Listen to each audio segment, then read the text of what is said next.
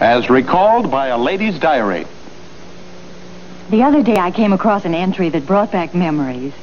March 1st, 1944, Joe's coming home on furlough. I remember one rub, I couldn't get camels. Maybe he'd bring some. Well, Joe arrived and it was pretty wonderful. Later, I apologized for not having camels.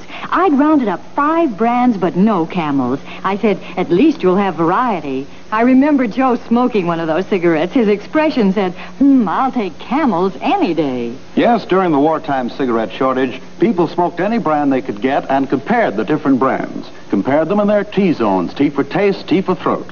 And they decided they liked camels best for cool, cool mildness and rich, full flavor. Result? More people are smoking camels than ever before. Yes, experience is the best teacher. Try a camel yourself. This is the story of absent-minded Frank Thayer. Frank walks back from lunch and sees a sight that unnerves him for a moment. A line of people a block long. Visions of wartime shortages. No stockings, no steaks and chops, little or no gasoline, and waiting in line for an hour for one pack of cigarettes, any brand. In a flash, Frank realizes he's seeing a movie queue. Just to reassure himself, Frank stops at the tobacco store for a carton of camels.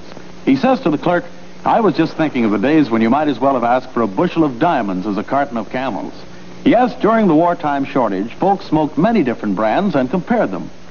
That experience taught smoker after smoker that Camel's cool, cool mildness and rich, full flavors suit them best.